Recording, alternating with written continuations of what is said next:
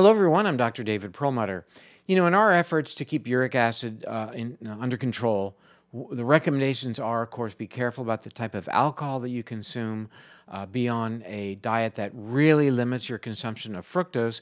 And we've also talked about purines, these uh, breakdown products of DNA and RNA that can raise uric acid as well. We find high levels of purines in certain foods like uh, organ meats, kidney and liver, and certainly in small fish like anchovies and sardines. But there are high levels of purines, or there are some vegetables that are described as being high in purines, and they have familiar names.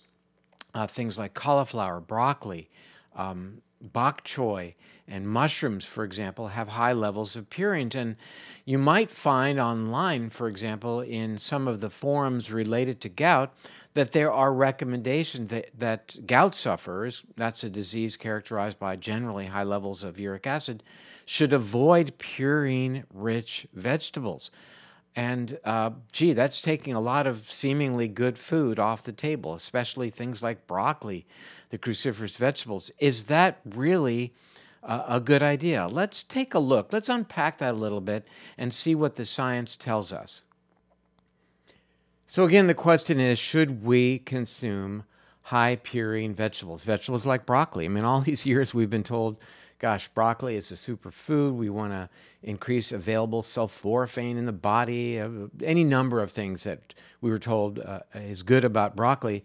And it turns out uh, that it's really valuable to look at this. If, if broccoli is high in purines and other vegetables are high in purines, like artichokes, leeks, Brussels sprouts, mushrooms, and spinach, uh, what does that tell us in terms of dishes like this, which I have to admit looks really, really good?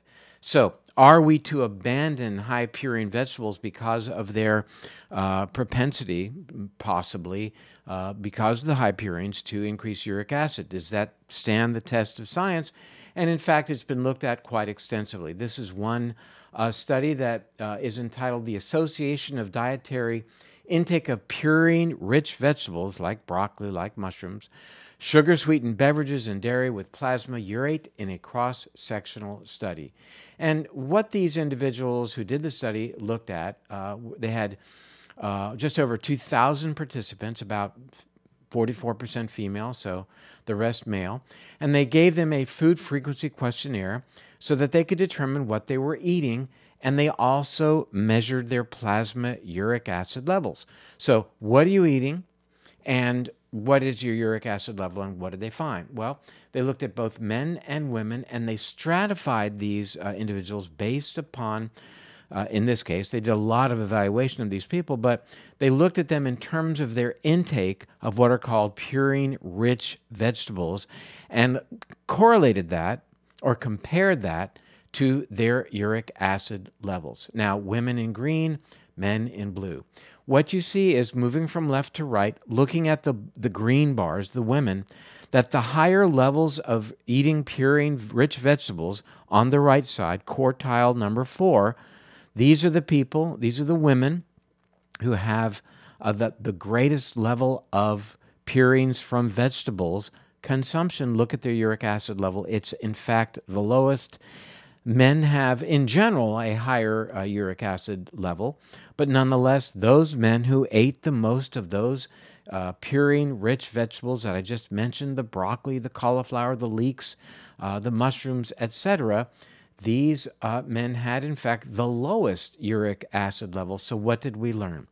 We learned that the findings of this study are in agreement with another study in which they evaluated uh, 47,150 people and did not find an association between eating these vegetables and risk of gout, which is a disease characterized in general by a high uric acid level. Further, they stated, our results reinforce concerns about the validity of recommendations uh, to restrict intake of uh, purine rich vegetables, uh, such as asparagus, cauliflower, beans, lentils, and spinach in gout patients. What they're saying is that their results would indicate that, in fact, gout patients should be eating these higher purine vegetables. It turns out they're good for you.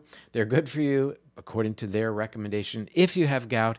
And I am uh, certainly going to indicate that they're good for you, whether you had have gout or not. But if your uric acid level is elevated, these are good choices as it relates to the foods that we consume. So, what we've learned then is that uh, though these vegetables seem to have higher levels of purines, uh, they don't tend to be associated with higher levels of uric acid, and certainly they don't tend to be associated when they are consumed with higher risk for gout. Why might that be? Yeah, they contain purines, and purines are broken down to uric acid, but they contain other things that help to lower uric acid, things like uh, dietary fiber, uh, various bioflavonoids that can inhibit the enzyme that makes uric acid called xanthine oxidase, maybe a little vitamin C that may aid in reducing uh, or aiding in the uh, excretion of uric acid and hence helping to keep the uric acid level lower than it otherwise would be. So, the, the end of the day recommendation is that these are good vegetables for us. Like them or not, they're good for you, uh, even if you're trying to gain control over an elevated uric acid. Good information. Hope you enjoyed it. I enjoyed spending time with you, and I'll be back soon. I'm Dr. David Perlmutter. Bye for now.